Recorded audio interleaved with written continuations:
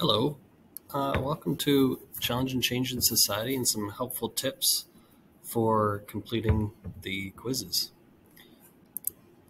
First, you're going to go to the correct lesson, click on the tab, and go to quiz. When you're in the quiz, just know that you have an unlimited amount of time. Every time you click on an answer, it's saved, and you can see the check mark here and you can just you know if you want to stop close the quiz. It's it's fine. And then you can go back to it later. Continue quiz. It's unlimited time so there's there's no no worry about that. You can take as long as you need to. Another helpful tip is when you find like something like operational definition so something that is very uh, defined it's a key word I would copy it, right click copy or control C to copy, then go into the reading and press control F and then control V. And then you can find that definition there and all the times that it states where the that keyword is. So then you can get, uh, you can move around quickly and efficiently uh, to find the correct answer and then just read over each option and pick the best answer. Okay, same with random sample. I'll do it again, so I'll right click, copy, and I'll go to the reading, control F, it's already there, and I'll press control V, right click, and paste. Press random sample, so that must be on the next reading. I'll do that, random sample, and there it is there.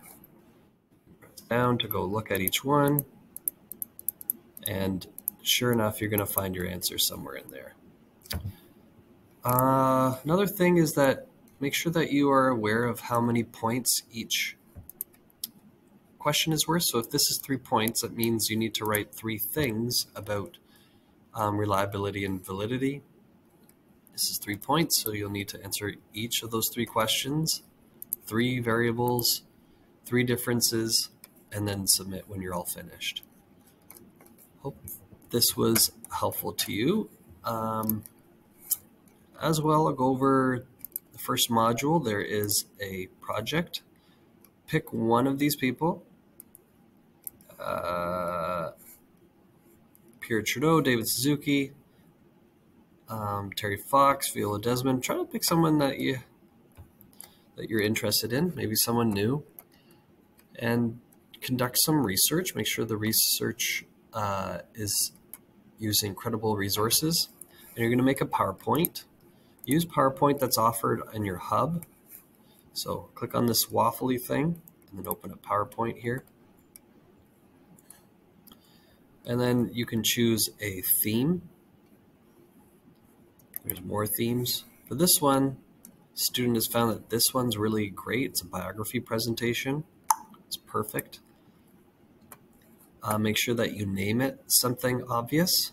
So maybe your name or, you know, project one, module one. Uh, if you need it, if you don't like these, you can just click on it and then press delete and it will go away. If you really like one, you can duplicate it duplicate slide. I right clicked on it and press duplicate.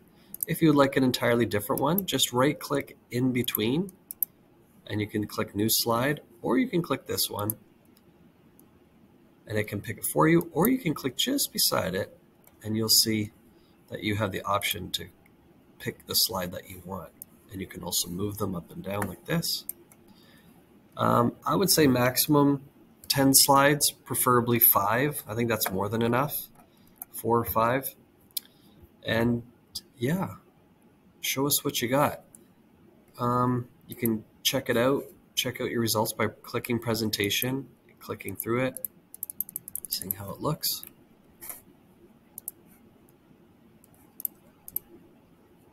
Okay, so those are my tips for kind of the first unit. They're all quizzes.